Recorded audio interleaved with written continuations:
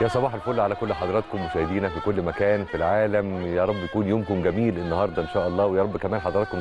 يعني تستمتعوا وتسعدوا معانا بمتابعتكم لينا في حلقتنا النهارده حلقة جديدة من 10 الصبح في الأهلي هكون منفردا مع حضراتكم النهارده وجاي لكم وأنا محمل بكتير جدا من الأخبار الحلوة الحقيقة كميات وافرة من الميداليات حققها كتير من لاعبتنا ولاعباتنا في رياضات مختلفة وفي بطولات مختلفة سواء كانت جوه مصر أو براها هنتكلم مع حضراتكم طبعا في كل هذه التفاصيل. أكيد هنتكلم بطبيعة الحال عن ماتش امبارح مع الاتحاد وعن القادم ماتش الزمالك إن شاء الله يوم الخميس الجاي.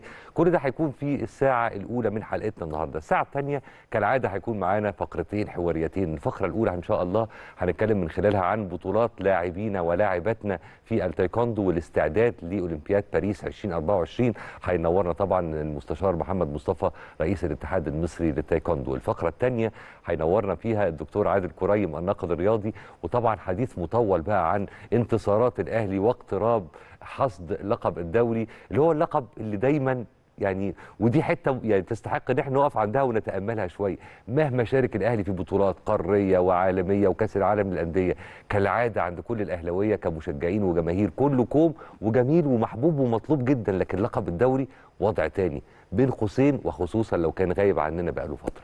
فالحمد لله إحنا يعني بتفصلنا نقطتين بس عن حصد اللقب والموسم ده من الدوري الممتاز. إن شاء الله خير بإذن الله. إمبارح طبعا الحمد لله فوزنا فوز مهم جدا في الدوري على الاتحاد السكندري بهدفين نظيفين. الماتش اتلعب على استاد الجيش في برج العرب في اسكندرية. طبعا الماتش ده كان من ضمن مؤجلات الجولة ال 21 اللي حصل كالاتي سيطر النادي الأهلي على معظم فترات المباراة وضغط بمنتهى القوة مع الدقائق الأولى ليثمر هذا الضغط عن العديد من الفرص التهديفية اللي الحقيقة استغلها النادي الأهلي بفضل الكثافة الهجومية وكمان إتقان اللمسة الأخيرة. تقدم الأهلي بالهدف الأول في الدقيقة 10 من ركلة جزاء سددها بمنتهى المعلمة والاحترافية علي معلول كالعادة وأضاف محمود كهربا الهدف الثاني في الدقيقة 13 من تمريرة نميسة جدا لبيرسي تاو اللي وضعه في مواجهة مباشرة مع المرمى. بكده بيرتفع رصيد النادي الأهلي للنقطة 75 وده بيقربه بقوة من حسم الدرع بينما تجمد رصيد الاتحاد السكندري عند النقطة ال 42 الحقيقة طريقة اللعب كانت قوية جدا وحماسية جدا وسعى النادي الأهلي من أول لحظة إنه يضغط على دفاع الاتحاد السكندري عشان حتى يمنعه من إنه يبني أي هجمات أو إنه يحاول يستخلص الكورة بأي حال من الأحوال. طبعا ده كان بيحصل مع التواجد بكثافة في الثلث الهجومي للمنافس لهز الشباك مبكرا وقد كان الحمد لله. وفعلا فوز مهم جدا ومطلوب جدا. بكده بيقترب الأهلي من حسم اللقب للمرة ال 43 في تاريخه. محتاجين نقطتين فقط لا غير لحسم لقب الدوري رسميا. طبعا بعد ما وسع بقى الفرق بين النادي الأهلي وبين بيراميدز صاحب المركز الثاني إلى 8 نقاط وبالمناسبة بيراميدز متبقي ليه ثلاث مباريات في المسابقة قدام سيراميكا كليوباترا وطلائع جيش والنادي الأهلي. طبعا ده بقى اللقاء المرتقب والمنتظر واللي بغض النظر عن أي حسابات الماتش ده ديربي لوحده بطولة لوحدها ليه خصوصية شديدة جدا كالعادة وده من قديم الزمان. الأهلي طبعا هيواجه نادي الزمالك في المباراة القادمة يوم الخميس الجاي إن شاء الله على استاد القاهرة وأكيد بنتمنى كل التوفيق لفرقتنا.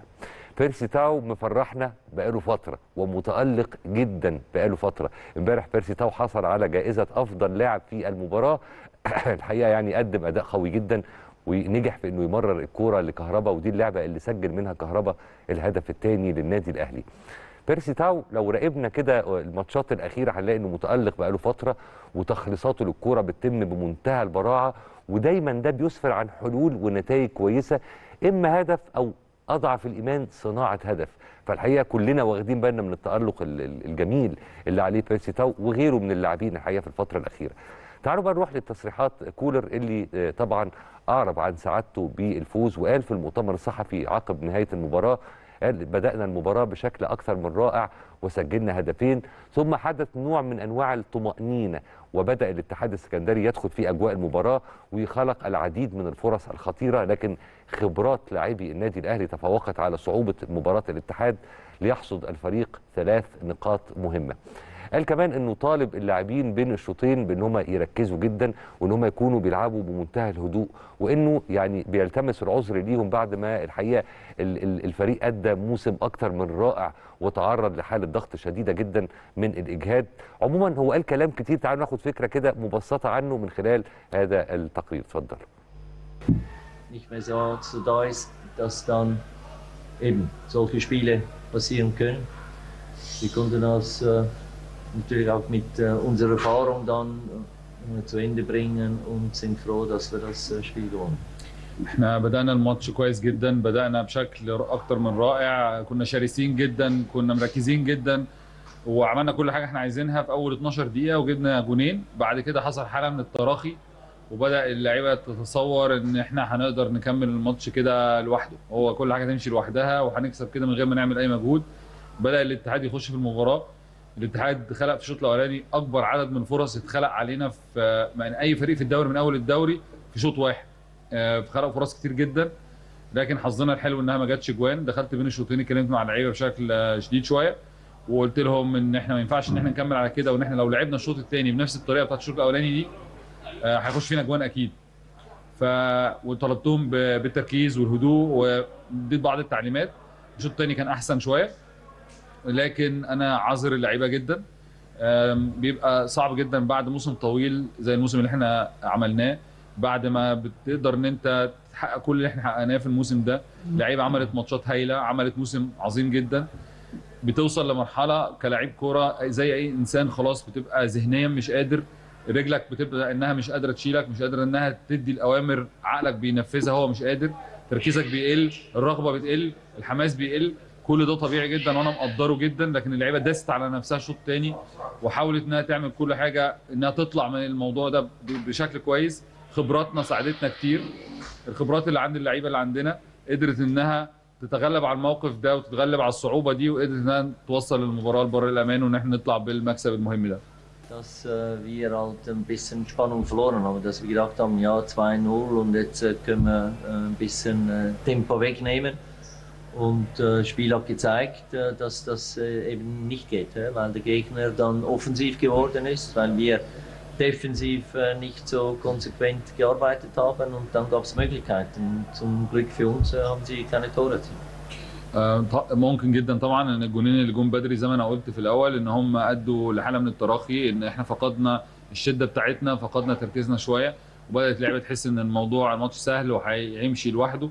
لكن لعيبة الاتحاد وريتهم درس إن هم لما تتراخى ممكن أي فرقة إنها تخلق عليك فرص وده اللي عمله الاتحاد خلق علينا فرص كتير جدا في الشوط الأولاني.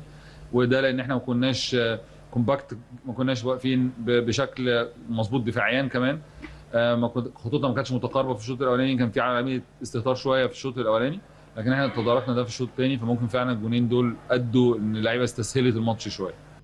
طيب ده كان جانب من تصريحات مستر مارسيل كولر في المؤتمر الصحفي اللي تم عقده عقب انتهاء مباراة الأمس. تعالوا بقى نروح لمنتخب مصر الأولمبي تحت سن 23 سنة اللي الحقيقة قدم مباراة كبيرة جدا رغما بإن هو تقريبا يكاد يكون لعب الماتش كله ب 10 لعيبة بس يعني باستثناء أول 10 12 دقيقة لكن بقية ال- ال- الجيم بالكامل لعبوا ب 10 لعيبة فقط أمام منتخب المغرب القوي. طبعا بغض النظر عن نتيجة المباراة والخسارة لازم نتوجه بتحية كبيرة لكل اللعيبة وما ننساش نقول لهم مليون مبروك التاهل لأولمبياد باريس 2024 بس إحنا مش عايزين مجرد التأهل إحنا مستنيين منكم ميدالية أولمبية إن شاء الله. لازم نشيد كمان بأداء جميع اللعيبة وطبعا يعني هدف منتخب مصر الأول اللي أحرزه امبارح محمود صابر آه، أو اللي أحرزه في المباراة يعني محمود صابر هدف عالمي بكل ما تحمله الكلمة من معنى. لكن للأسف الشديد فرحتنا بيه ما كملتش قوي لأنه أخذ طرد بعدها وكان مفاجأة مش لطيفة الحقيقة وسبب خيبة أمل كبيرة للمنتخب المصري. وكلنا طبعا كنا زعلانين وإحنا بنتابع اللاعب وهو خارج بيبكي آه، يعني وهو خارج يعني بره أرضية الملعب. حابين كمان نشيد بميكايلي اللي هو مدرب منتخب مصر الأولمبي اللي يعد بمثابة جوارديولا المنتخبات منتخبات الناشئين حول العالم الحقيقة. عايزين نقول إن عدم الفوز بأمم إفريقيا أكيد شيء أحزننا لكن في النهاية هو مش نهاية المطاف. لازم نبدأ الإعداد الجيد للأولمبياد من دلوقتي عشان نقدم أداء قوي ونوصل لهدفنا بتحقيق ميدالية أولمبية إن شاء الله. كل الشكر والتقدير والامتنان للجهاز الفني والإداري ولكل اللعيبة الموجودين في المنتخب الأولمبي على الروح القتالية اللي ظهروا عليها في الفترة الأخيرة. وطبعا رغم خسارة نهائي يعني أمم إفريقيا تحت سن 23 سنة ورغم إن إحنا كنا بنلاعب المنافس القوي وإحنا ناقصين لاعب لكن الحقيقة يعني كسبنا منتخب قوي متأهل للأولمبياد إن شاء الله آه، للمرة الثانية على التوالي وده إنجاز رياضي كبير قوي يعني للرياضة المصرية بشكل عام. شكرا للأداء المشرف خلال البطولة وخصوصا في اللقاء النهائي أمام المنتخب المغربي صاحب الأرض وصاحب الجمهور. وده الحقيقة جيل واعد جدا للمنتخب الأول بعد كده ولمستقبل كرة القدم المصرية. لازم نقف شوية ونحيي كتير حارسنا آه، حمزة علاء اللي حصل جائزة أفضل حارس في هذه البطولة وكمان لازم نهني إبراهيم عادل اللي حصل على جائزة أفضل لاعب في هذه البطولة. طبعا يعني جماهير النادي الأهلي واقفة بشكل استثنائي وبتحيي طبعا حمزة اللي هو برضو يعني نقدر نقول إيه آه، في المزيد من الطمأنة بالنسبة لنا كجماهير للنادي الأهلي إن إحنا بسم الله ما شاء الله. يعني إحنا عندنا squad محترم وعلى صعيد حراسة العرين النادي الأهلي برضو عندنا squad محترم جدا. المنتخب المصري لألعاب القوة. فاز بخمس ميداليات ذهبية في منافسات دورة الألعاب الرياضية العربية المقامة خلال الفترة من 5 حتى 15 يوليو في الجزائر. الحقيقة أداء مميز جدا وعندنا ثقة في بعثة المنتخب المصري لرفع الأثقال هو كمان في أنه يواصل تحقيق الإنجازات والميداليات في منافسات الدورة آه، دورة الألعاب العربية. لازم نشيد بكل اللعيبة. مصطفى الجمل الحقيقة حقق ميدالية ذهبية في مسابقة رمي المطرقة. كمان توجت إسراء عويس بالميدالية الذهبية في الوثب الثلاثي وحققت رقم مصري جديد. كمان فازت نفس اللاعبة إسراء عويس بالميدالية الذهبية في مسابقة الوثب الطويل. إنجازات محترمة جدا. كمان مصطفى عمرو آه، حقق الميدالية الذهبية في مسابقة دفع الجلة. وإيهاب عبد الرحمن حقق الميدالية الذهبية في منافسات رمي الرمح. كلها ميداليات ذهب بسم الله ما شاء الله. مليون مبروك. وكمان مليون مبروك لمنتخب مصر الفوز بالمركز الأول في بطولة إفريقيا للشباب والناشئين اللي أقيمت في المغرب حققوا 22 ميدالية سبعة ذهب وسبعة فضة وثمانية برونز. كل الميداليات اللي يعني الحقيقة بتتحقق بشكل أسبوعي تقريبا في مختلف الألعاب بتأكد على حاجة واحدة إن الرياضة المصرية هي القوة الناعمة اللي بترفع دايما راية مصر عالية في جميع المحافل الرياضية. نروح بقى للبطولة الإفريقية للبوتشا اللي استضافتها مصر على صالة حسن مصطفى في مدينة 6 أكتوبر واللي انتهت فعالياتها بالفعل. نجح المنتخب المصري في الحصول على ست ميداليات أربعة على المستوى الفردي وميدالية في الزوجي وميدالية في الفرق. كمان نجح الثنائي هناء علام ومحمود نبوي في التتويج بالميدالية الذهبية والتأهل لبارالمبياد باريس 2024 تعد هذه هي المرة الأولى في تاريخ مصر اللي بيتأهل فيها منتخب مصر للبوتشا لدورة الألعاب البارالمبية. الحقيقة النجاح اللي حققه منتخب مصر في البطولة الموسم ده حلو جدا وبالذات لو قارناه بالمشاركة في البطولة اللي فاتت في جنوب أفريقيا. طبعا إحنا كمان متعشمين فيما هو أكبر من كده وأبعد من كده متعشمين في المزيد من ال- الفرق المتأهلة إن شاء الله خلال الفترة اللي جاية بناء على خطط الإعداد طبعا والتأهيل الخاصة بالمنتخبات البارالمبية. نروح بقى لموضوع مختلف. الخماسي الحديث. مصر هتستضيف بطولة العالم للشباب تحت سن 17 سنة إن شاء الله في الفترة من 10 إلى 17 يوليو في اسكندرية بمشاركة 35 دولة بيمثلها أكثر من 350 لاعب ولاعبة. الاتحاد المصري للخماسي الحديث بيعمل على قدم وساق من أجل تنظيم بطولة على أعلى مستوى. مصر الحقيقة عندها كوادر تنظيمية اكتسبت كمان خبرات كبيرة قوي وخبرات عالمية خلال السنين اللي فاتت.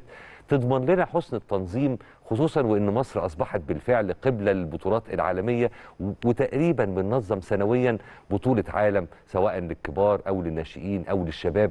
ده بيعكس ثقة الاتحاد الدولي في التنظيم المصري اللي دايما بيكون في أفضل صورة الحقيقة. طبعا لأول مرة هيتم تطبيق الشكل الجديد للخماسي الحديث في بطولة العالم وهو الشكل اللي هيتم تطبيقه بمجرد انتهاء أولمبياد باريس 2024 واللي بيحتوي على مسابقة الموانع بدلا من الفروسية وده كان بناء على طلب اللجنة الأولمبية الدولية. حاجة حلوة قوي لما نقعد نتكلم مع حضراتكم كل يوم والتاني ونستعرض نجاح مصر في تنظيم فعاليات بطولة كبرى أو بطولة عالم أو كأس عالم في أي رياضة من الرياضات.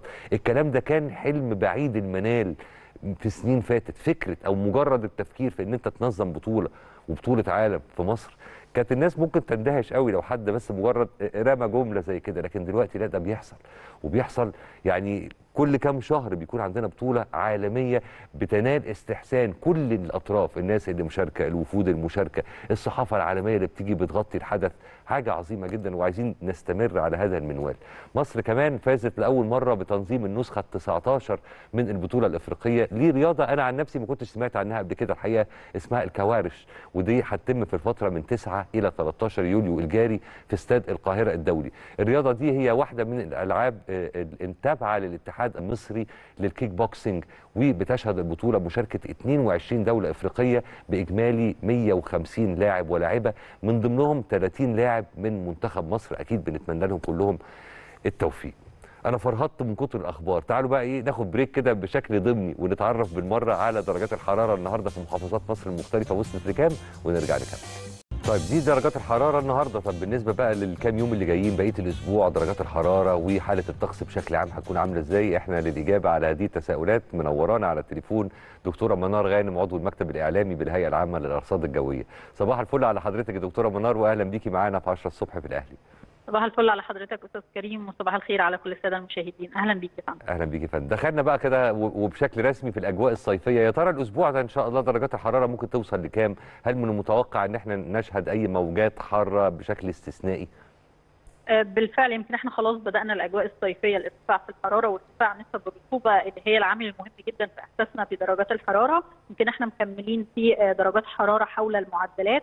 عظمى على القاهرة الكبرى ما بين 34 إلى 35 درجة مئوية على مدار هذا الأسبوع. لكن في استمرار لتأثرنا بمنخفض الهند الموسمي مع كتل هوائية معظمها قادمة من على البحر المتوسط فبتتحمل بكميات كبيرة من بخار المية ففي ارتفاع كبير في نسب الرطوبه فنحس درجات الحرارة أعلى طبعا من ال 35 وال 34 درجة الحرارة المحسوسة نتيجة ارتفاع نسب الرطوبه أعلى من درجة الحرارة اللي إحنا دايما بنقولها في النشرة بحوالي درجتين لثلاث درجات. م. درجة الحرارة نحسها لو تكن 37 و 38 درجة مئوية بسبب ارتفاع نسب الرطوبة. كمان في زيادة لفترات سطوع اشعه الشمس بالشكل الكبير خلال فترات النهار ده يساعد على إحساسنا بارتفاع درجات الحرارة. عشان كده طقس الأسبوع هيكون طقس حر رطب على القاهرة الكبرى ومحافظات الوجه البحري وأيضا السواحل الشمالية. المحافظات المطلة على البحر المتوسط. يمكن هنلاحظ الارتفاع في درجات الحرارة كمان في المناطق الجنوبية. جنوب الصعيد هتوصل ل 43 درجة مئوية وأحيانا في بعض المناطق توصل ل 44 درجة مئوية.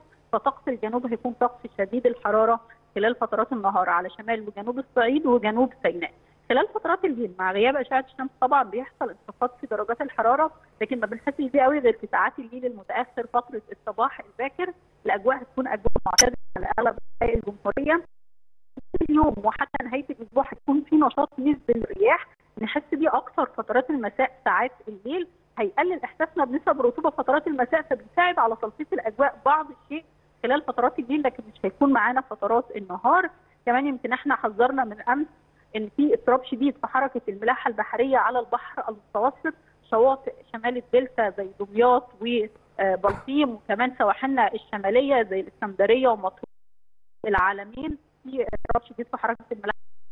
معانا اليوم وغدا إن شاء الله سرعات رياح على البحر المتوسط هتكون ما بين 50 ل 70 كيلو متر على الساعة وده بدوره طبعا هيؤدي لارتفاع الأمواج على البحر المتوسط وغير مؤهل لكافة أعمال الصيد والملاحة البحرية وأعمال التنزل خاصة شمال الدلتا والمناطق اللي موجودة في السواحل الشمالية الغربية. فيعني السادة المصطفين على الشاطئ أو السادة الصيادين قدر الإمكان نتجنب نزول البحر خلال فترة هو ده. مش غريب حبتين في الوقت ده من السنة دكتورة منار؟ يعني عادة اللي حضرتك بتتكلمي عليه ده بيبقى أقرب شوية للأجواء ال- ال- الشتوية العاصفة وغلق بوغاز اسكندرية إلى آخره. لكن بتهيألي يعني وده عادي في التوقيت ده؟ يعني أحيانا في بعض الأيام في فصل الصيف طبعا بيحصل نشاط رياح بيؤدي لاضطراب ملاحة بحرية على البحر المتوسط. أحيانا إحنا في فصل الصيف بيبقى في رفع للرايات على الشواطئ بسبب ارتفاع الأمواج. فده طبيعي لكن مش طول فترة الصيف ما بتتكررش بالشكل الكبير. بس أحيانا طبعا بيبقى فيه نشاط رياح بيؤدي لارتفاع أمواج وهو مش هيستمر معانا كتير. إن شاء الله هيكمل معانا بكرة الاثنين. ومع يوم الثلاث إن شاء الله تهدأ سرعات الرياح وتبدأ تنخفض الأمواج ويكون البحر يعني مؤهل لكافة أعمال الصيد على ذكر البحر والشواطئ والأمواج يا دكتورة منار وحضرتك طبعا ست العارفين الفترة دي هي فترة موسم الأجازات بقى والطلبة في المدارس والمعاهد والكليات كلهم عندهم أجازات. وبطبيعة الحال في ناس كتير بتنطلق وتنتشر في شواطئ مصر المختلفة. في توقيتات معينة ينصح إن إحنا ما نتعرضش فيها بشكل مباشر لأشعة الشمس؟ هربا من أي يعني عارفة بقى الناس اللي بتجيلها ضربات شمس وحاجات كده بتحصل كتير على الشواطئ. إيه التوقيت اللي المفروض ما نتعرضش فيه بشكل مباشر لأشعة الشمس؟ غير طبعا الاضطراب اللي إحنا موجود معانا النهارده وبكرة طبعا خلال فترة الظهيرة من الساعة 12 الظهر للساعة 3 4 العصر الفترة دي اللي بنسجل فيها أعلى درجة حرارة على مدار اليوم كله. فإحنا دايما بنقول لو إحنا حابين ننزل البحر يكون فترة الصباح الباكر حتى الساعة 12 وبعد كده نكون تحت الشمسيات وبعد الساعة 3 4 نقدر ننزل تاني. لكن فترة الظهيرة هي دي الفترة اللي بنسجل فيها أعلى درجة حرارة على مدار اليوم كله. والتعرض المباشر طبعا لأشعة الشمس هيزود إحساسنا بارتفاع درجات الحرارة. طب. لا قدر الله ممكن يسيبنا بضربات الشمس والحروق. فناخد بالنا بشكل كبير خلال فترة الصيف من الوقت ده حتى كمان لو أنا موجود في الشارع.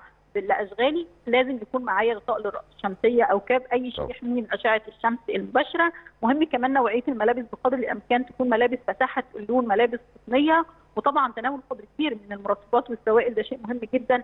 خلال فترة الصيف يعني إحنا في شهر سبعة طب. لو إحنا خدنا احتياطاتنا بالشكل كبير إن شاء الله ما نحسش بارتفاع درجات الحرارة. برضو على ذكر ال- المصايف والسفر هل هل في شبورة مثلا ممكن تكون بتتكون في توقيتات معينة من الصباح الباكر؟ برضو الناس اللي حابة تسافر بدري؟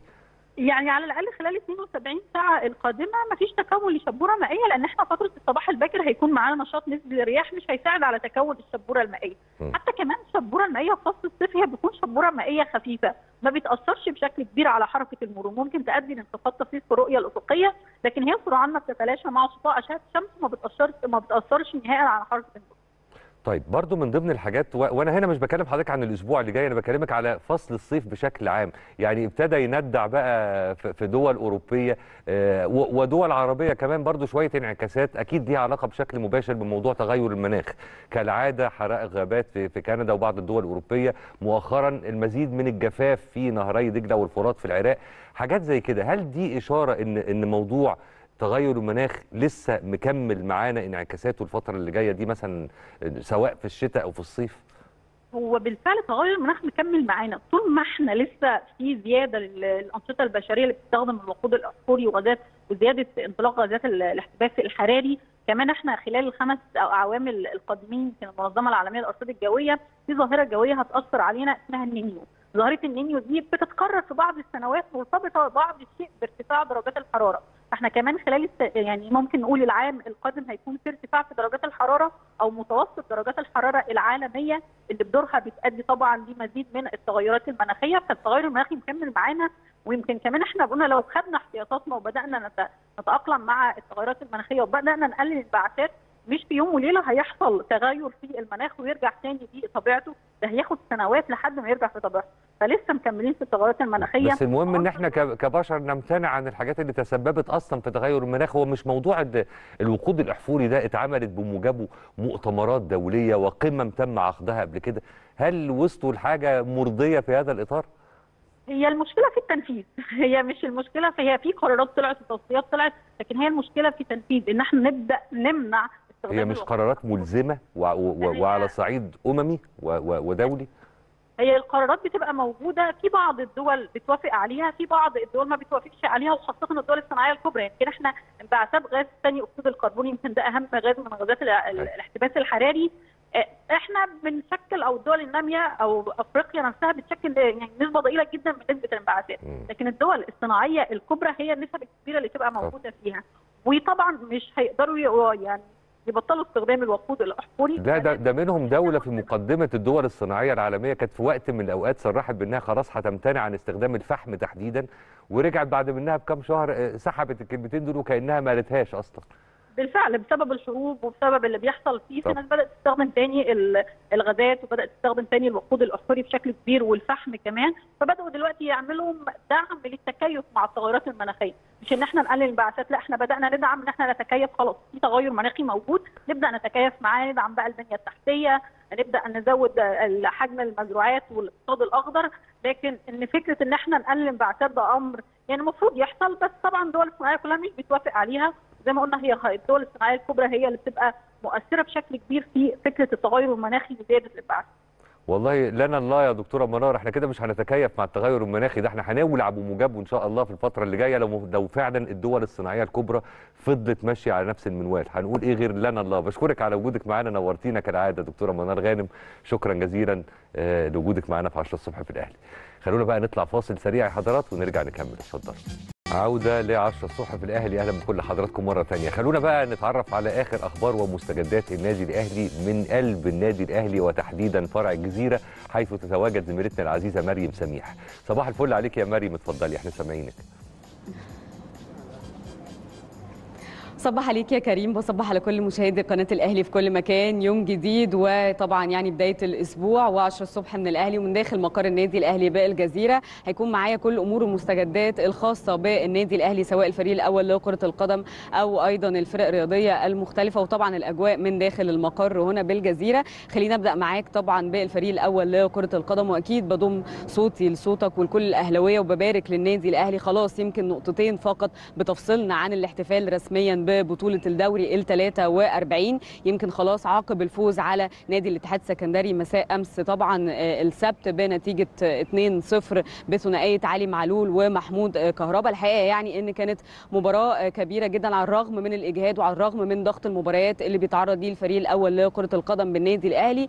ولا إن طبعا إن الحقيقة قدر الفريق إن هو يحسم المباراة ويقتلها في أول ربع ساعة طبعا في الشوط الأول. الحقيقة خليني أقول إن بكده يكون النادي الأهلي بيغرد منفردا على صدارة ترتيب طبعا يعني جدول المباريات أو جدول الدوري المصري ب نقاط عدد نقاط 75 نقطة وبيتبقى ليه نقطتين فقط علشان يكون حسم لقب الدوري ال 43 يمكن عقب انتهاء المباراة قرر طبعا المدير الفني مارسيل كولر للفريق إن هو يمنح اللعيبة يومين أجازة 48 ساعة أجازة. يمكن النهارده وبكرة هيبقى أجازة وهيرجعوا يستأنفوا طبعا تدريباتهم على ملعب مختار التتش بدءا من يوم الثلاثاء وكمان هيستأنف كمان التدريبات يوم الأربعاء استعدادا لمباراة القمة طبعا أمام نادي الزمالك اللي هتقام إن شاء الله يوم الخميس المقبل الموافق 13 من يوليو الجاري. هتقام في تمام الساعة الثامنة والنصف مساء على ملعب الاستاد القاهرة وده بيأتي ضمن الجولة ال 31 من عمر.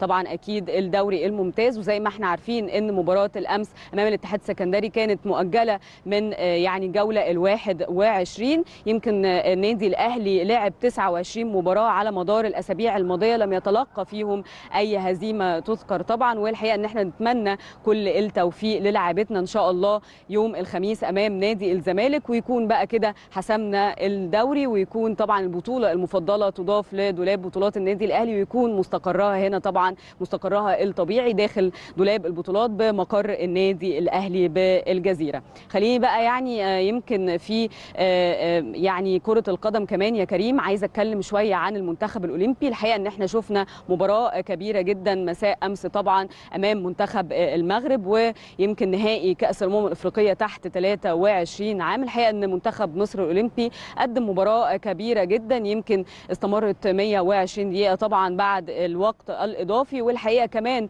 إنه يمكن لاعبتنا لعبوا ناقصين من بعد بدء المباراة بحوالي ثلث ساعة فكانت مباراة صعبة جدا على جميع المقاييس. والحقيقة طبعا إن هي كانت بتقام على أرض منتخب المغرب في حضور جماهيري أيضا. فالحقيقة يعني إن كانت مباراة صعبة جدا ولكن طبعا رجالتنا رجالة المنتخب الأولمبي قدروا إن هم يعني يحققوا فيها. الحقيقة إن هم شرفونا وعلى الرغم من خسارتهم بنتيجة 2-1 ولكن الحقيقة إن إحنا كل الناس إمبارح زي ما أنت تابعت أكيد يا كريم وكل طبعا جماهير الكرة المصرية تابعت قد إيه إنه في إشادة كبيرة بالمنتخب الأولمبي الحقيقة إن هو قدر طبعا يعني ده إنجاز كبير وقدر إن هو يحسم التأهل لأولمبياد باريس 2024 اللي هتقام في الصيف المقبل إن شاء الله أو الصيف من العام المقبل 2024 وده للعام الثاني على التوالي. يمكن كمان لاعبنا بقى أو حارس مرمى النادي الأهلي حمزة علاء على مدار البطولة قدم يمكن أداء كبير جدا وأداء يعني يمكن متميز. شفناه كلنا وكل الناس أشادت بيه الحقيقة وامبارح يمكن قدر إن هو يصد عدد كبير جدا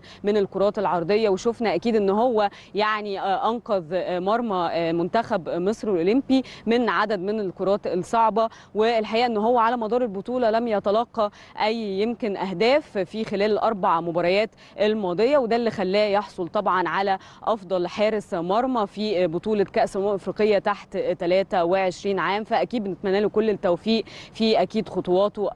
المقبلة سواء مع المنتخب الأولمبي أو أيضا مع النادي الأهلي. خليني بقى أنتقل معاك يا كريم للألعاب الأخرى والحقيقة إن دلوقتي يعني معانا أخبار أو الخبر الأخير معانا عن طبعا أكيد فريق النادي الأهلي لكرة اليد. الحقيقة إن طبعا أكيد إمبارح تم الإعلان عن قرعة كأس الأبطال الدولية لكرة اليد نسختها ال 54 واللي هتقام في الفترة من 14 حتى 18 من أغسطس المقبل. إن شاء الله هتقام في البوسنة والحقيقة إن يمكن في عدد كبير جدا من الأندية ينضم لهذه البطولة. خليني أقول لك طبعا الأندية اللي هتكون موجودة بجانب النادي الأهلي المصري. الحقيقة إن برشلونة الإسباني أيضا مونبيلي الفرنسي زغرب الكرواتي ويورو فارم المقدوني وسيلي السلوفيني وأيضا سلوجا دوبوي البوسني وفويفودينا الصربي الحقيقة إن هتكون موجودة 8 فرق ويعني تحديدا سبع فرق بجانب النادي الأهلي وهيشاركوا في هذه البطولة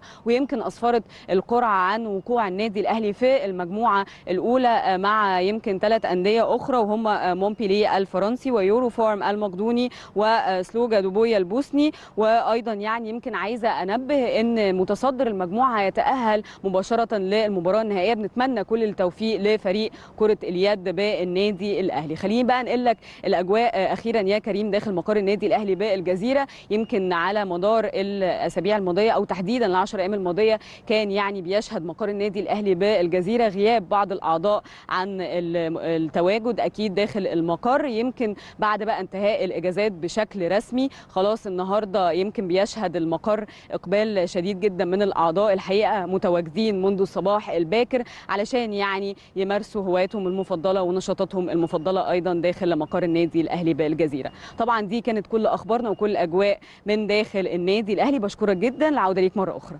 ده أنا اللي بشكرك على هذه التغطية المتميزة كالعادة. شكرا جزيلا ليكي زميلتنا العزيزة. طيب إحنا دلوقتي هنطلع فاصل يا حضرات بس عودة ل 10 الصبح في الأهلي. أهلا بكل حضراتكم مرة ثانية وتحديدا أهلا بيكم في أولى فقراتنا الحوارية. الحقيقة رياضة التايكوندو من الرياضات اللي إحنا متفوقين فيها قاريا وعالميا وكمان اولمبيا. تعالوا بقى نعرف تفاصيل هذا الأمر إيه؟ من المنبع بقى شخصيا. إحنا النهارده منورنا طبعا ضيفي العزيز اللي منورني ومشرفني هو سيادة المستشار محمد مصطفى رئيس اتحاد التايكوندو. صباح الفل على حضرتك يا صباح الخير يا كريم. أهلا بيك أخبار حضرتك أنا إيه متشكر للمقدمة اللطيفة دي و يعني أنا اتشرفت إن أنا أكون هنا من حوالي 16 شهر في شهر مارس 2022 والحمد لله بعد 16 شهر يعني زي ما النادي الأهلي بيقدم إنجازات للرياضة المصرية وقناة النادي الأهلي بتحافظ على نجاحها. فجميل برضو إن أنا أبقى موجود النهارده معاكم ونتكلم على إنجازات بقى الاتحاد المصري في خلال الفترة الحالية. وجميل. الحالية. وسعيد بالنسبة لنا إحنا كمان متشرفين. بوجود حضرتك معانا. طب في ال 16 شهر دول إيه اللي حصل؟ لا حصل حاجات كتير. زي؟ يعني إحنا بداية آه، يعني حاولنا إن إحنا نكمل ال- اللي انتهى ليه مجلس الإدارة السابق. لكن كان عندنا صعوبات في إن طبعا سنة الحياة التغيير والتطوير. والتحديث وهكذا أكيد فطبعا يعني آه، بعد أولمبياد آه، طوكيو زي ما بيحصل في مصر زي ما بيحصل على مستوى العالم كله في لعيبة بتواجه ظروف اجتماعية من جواز من عمل من مشغوليات من اعتزال مش كده الحمد؟ لله. آه. سيف عيسى. وهدايا ملك أيوة. فطبعا كان عندنا التحديات دي يعني. إن في ناس انشغلت لدراسات ولاعمال ولظروف اجتماعية والاعتزال والإصابات و. فكنا لازم إن إحنا نبتدي بقى ال- الاختيار الجديد وبناء آه، يعني آه، منتخب جديد. بالظبط كده وتجديد ال- الدم بتاع منتخب مصر وتغيير جلد منتخب مصر على بقى أكثر من من؟ محاور حققتوا ده من خلال إيه؟ إيه الآلية اللي مشيتوا عليها فبالتالي وصلتوا لده؟ والله طبعا أول حاجة إن ما نقدرش إن إحنا نستبعد العناصر ال- الخبرات اللي كانت موجودة والعناصر كمان الواعدة اللي هي آه، آه، خلت طموحاتنا إن إحنا آه، نكمل بيها زي مثلا سيف عيسى زي ميسون إيهاب دول خبرات من أولمبياد الشباب في نانجينج 2015 آه، ابتدينا مع ال- الانتقاء بقى من خلال بطولات الجمهورية والتصفيات اللي الاتحاد عملها وكان بيتابعها ال- المشرف العام على المنتخب المهندس محمد عجيزة. إحنا ننتقي العناصر الواعدة اللي هي عندها الخامة اللي تنفع انها تبقى بطل دولي أو بطل عالم. عندنا كمان عنصر ثالث اللي هو المشروع القومي للموهبة البطل الاولمبي سواء على منتخب سواء على منتخب أو على مستوى ال- ال- الناشئين أو ال- الشباب وده مشروع مهم جدا جدا ده مشروع طبعا. الدولة والوزارة بتهتم بيه جدا جدا وبالفعل بيقدم عناصر كويسة ابتدينا نستعين بالعناصر الكويسة دي اللي فيه رقم أربعة عل آه، يعني علينا بقى من كفاءة اللعيبة اللي كانت موجودة وكانت محتاجة تطوير في أدائها كانت محتاجة تعديل في فنياتها وهكذا.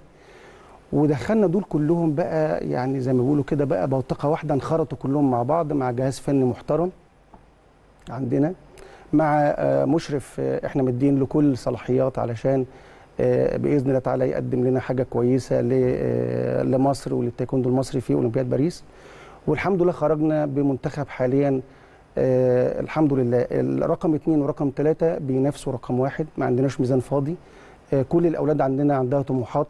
ما فيش ولد أو بنت بيطلع آه بطولة عالم أو بطولة آه أو بطولة رسمية أو بطولة دولية إلا بيبقى عنده استعداد وعنده آه شغف إن هو يرجع بميدالية لبلده.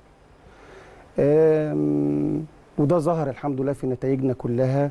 في خلال عام 2022 آه، دورة الألعاب آه، البحر المتوسط اللي شاركنا فيها كانت آه، البعثة برئاسة العميد خالد محمود نائب الرئيس. الحمد لله إحنا عملنا فيها أربع ميداليات في سابقة تاريخية مم. للتايكوندو.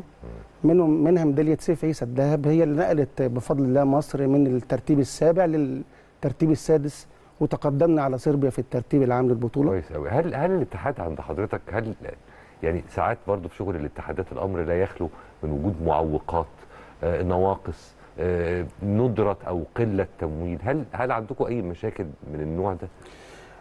ال- الحاجات اللي حضرتك بتقولها دي بتواجه كل الاتحادات مش في مصر بس في العالم وخصوصا كمان مع الظروف الاقتصادية اللي طرأت لكن خليني إن أنا أقول لحضرتك اعترافا يعني إن ال- ال- الوزارة برئاسة الدكتور أشرف صبحي آه، اللجنة الاولمبيه متعاونة معنا جدا.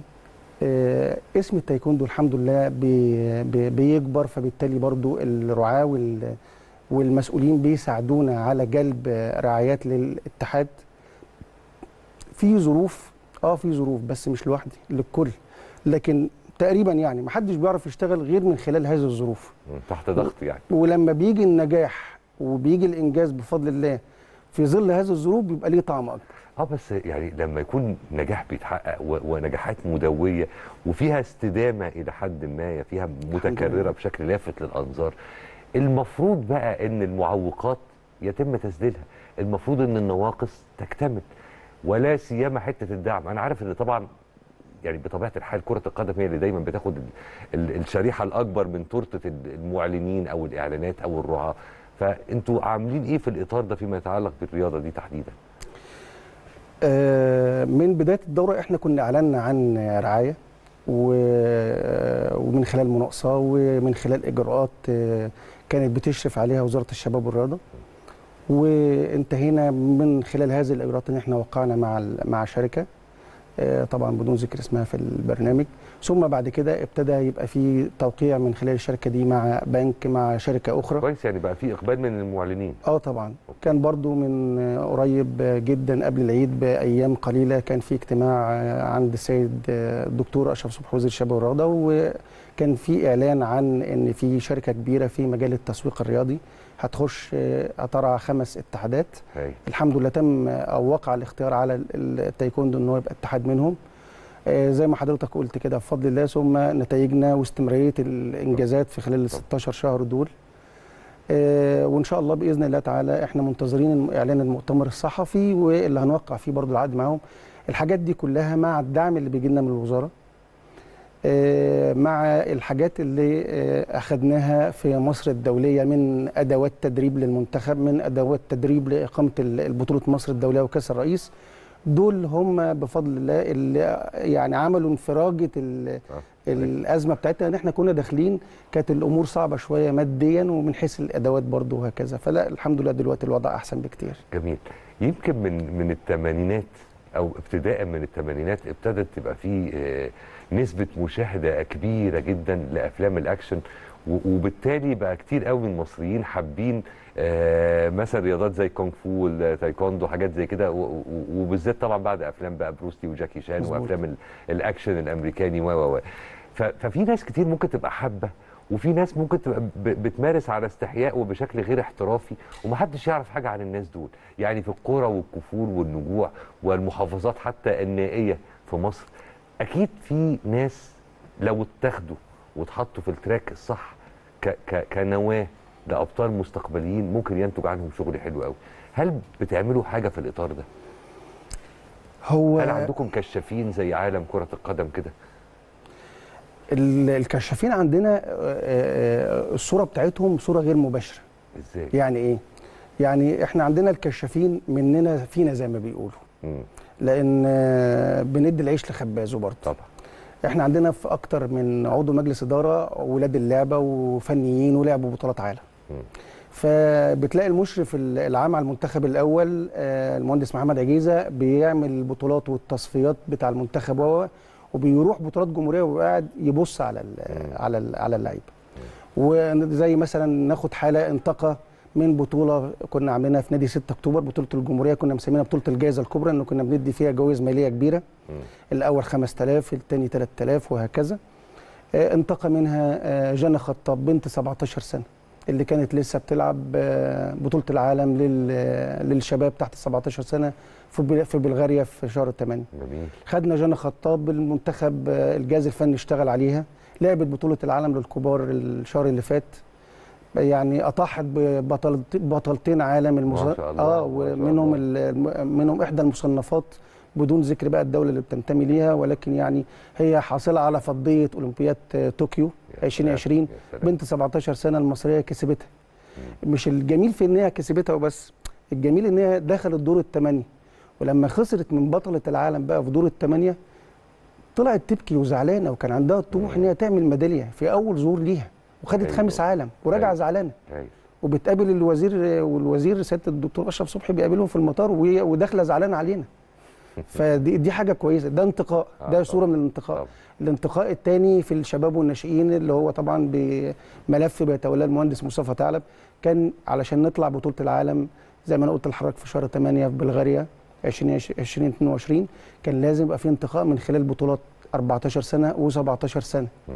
انتقينا لعيبة. اللعيبة دي آه، يعني أنا بقول إن هي النواه لمنتخب مصر اللي جاي سواء الدورة دي أو اللي بعده. انتقاء في منتخب ال- ال- البومز اللي بيشرف عليه المحاسب حز... آه، مجدي طايل.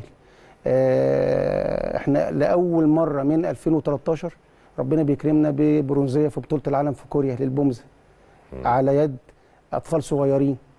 انتقاء في بطولة في المنتخب البارا تايكوندو المصري اللي هو بيتولى الملف فيه المحاسب حازم انديل إحنا لأول مرة بيبقى عندنا فريق كامل للبارا تايكوندو كامل.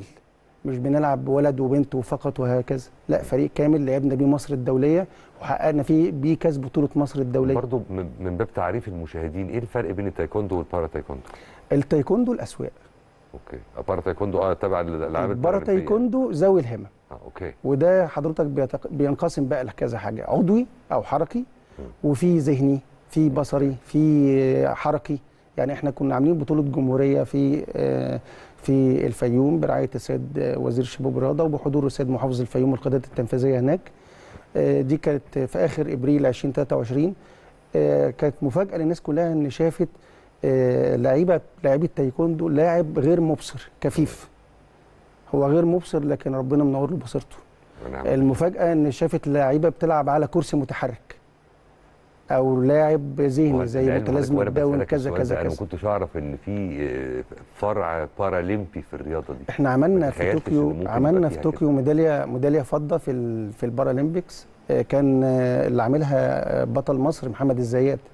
وحاليا آه، سلمى علي آه، بطلتنا الدولية دي ثالث العالم ما شاء الله. وتصنيف ثالث وإن شاء الله بنأهلها ووراها إن شاء الله لما تتأهل إن شاء الله لباريس. دايما في 10 الصبح في الأهلي لما نكون بنتكلم على على أي رياضة في منها آه، أولمبي وبارالمبي لازم دايما نقف عند نفس التفصيلة دي اللي هي حاجة ملفتة للأنظار ومن زمان.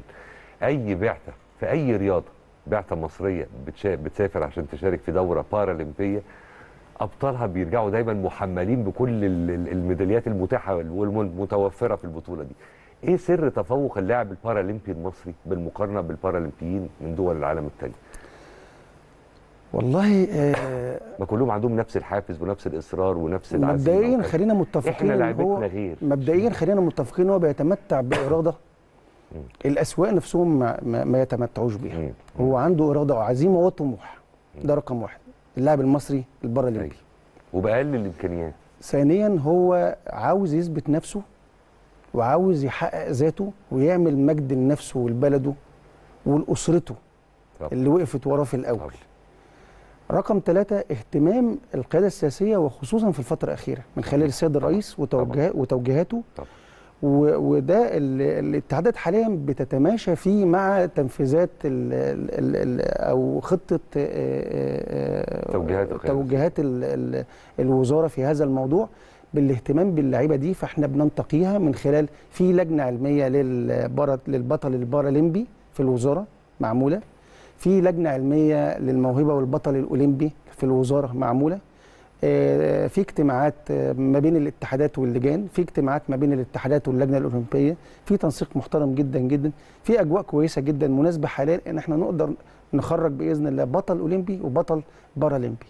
هم كمان الجزئية اللي سيادتك بتقول عليها لما حسوا باهتمام الدولة بيهم لما حسوا باهتمام الاتحادات بيهم لما حسوا باهتمام الإعلام بيهم بقى عاوز يطلع كل حاجة كويسة جواه طبعا طبعا.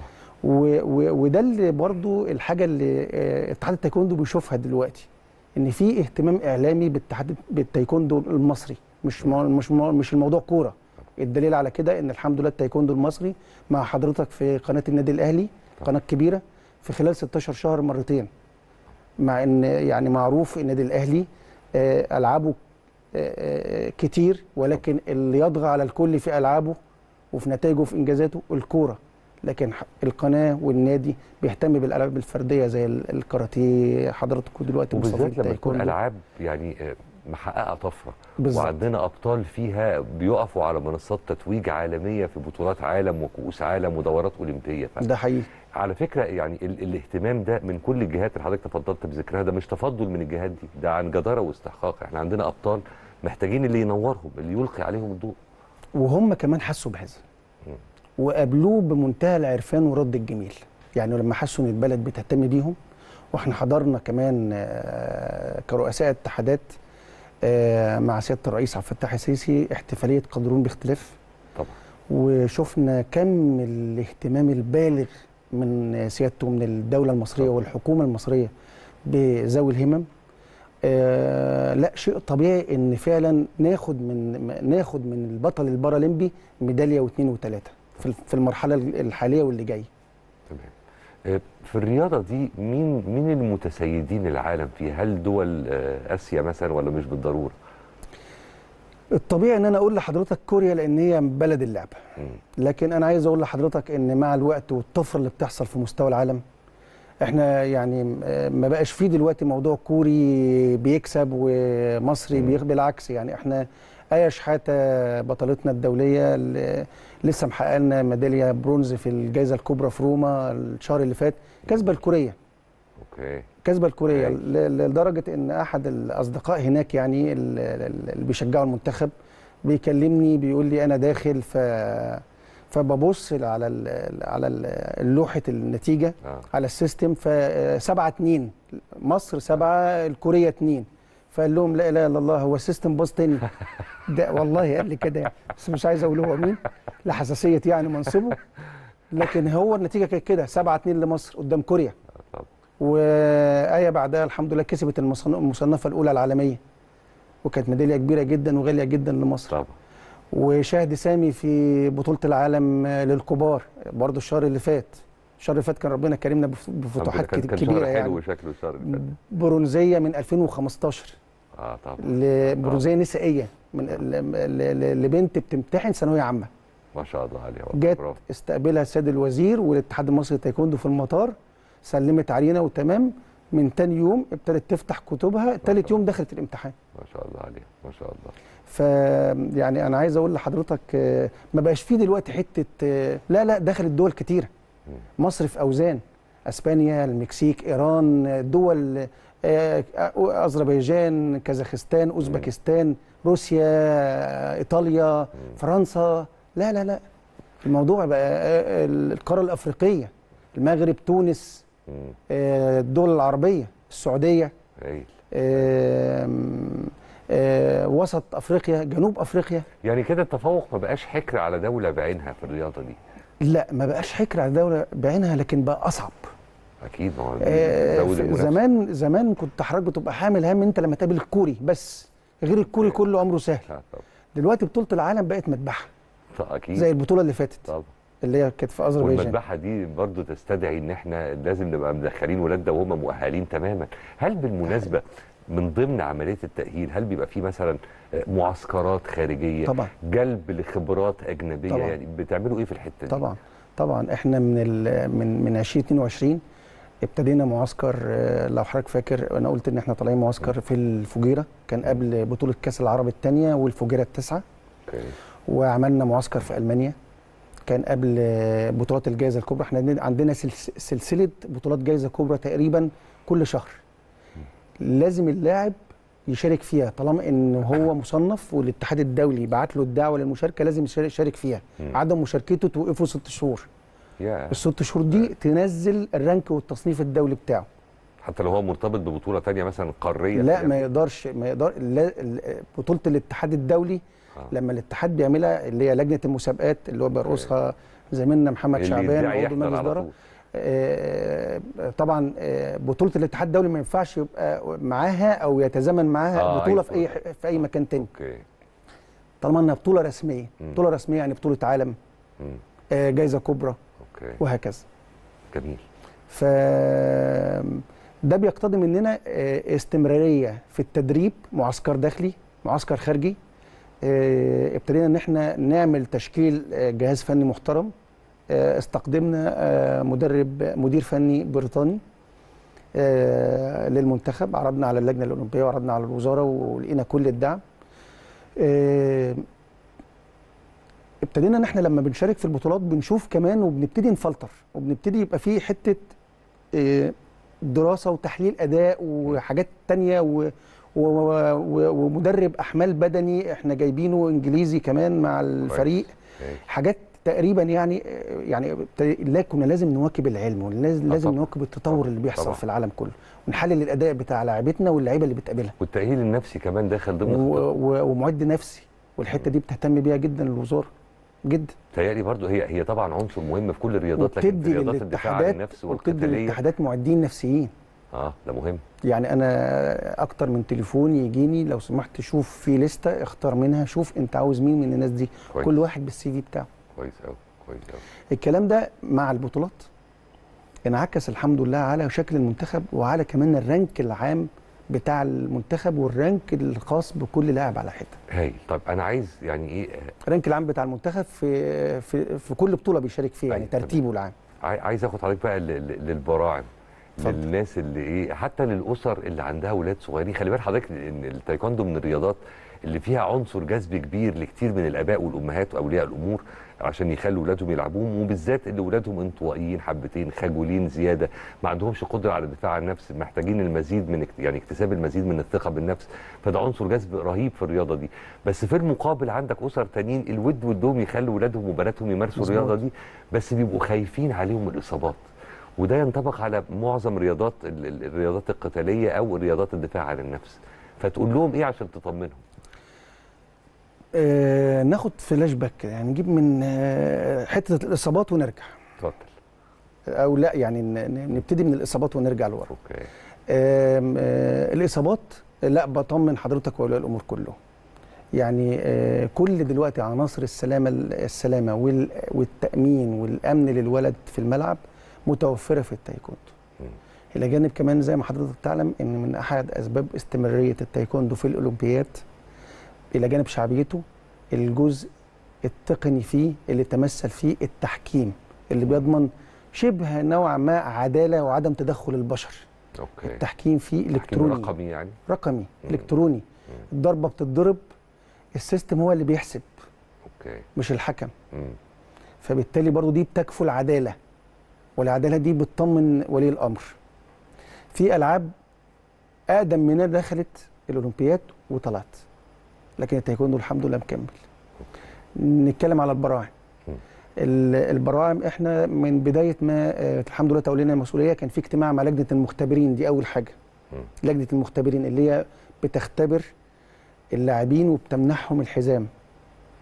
فكان في توجيه من رئيس الاتحاد ومجلس الإدارة للجنة إن مفيش طفل صغير يسقط في اختبار حزام. لأن هو داخل معاه حزام أبيض عايز ياخد الأصفر داخل معاه الأصفر عاوز ياخد الأورنج أو ياخد الأخضر أو ياخد الأزرق. لما يجي يسقط في اختبار الحزام هيحصل له إحباط. وبالتالي مش هيكمل.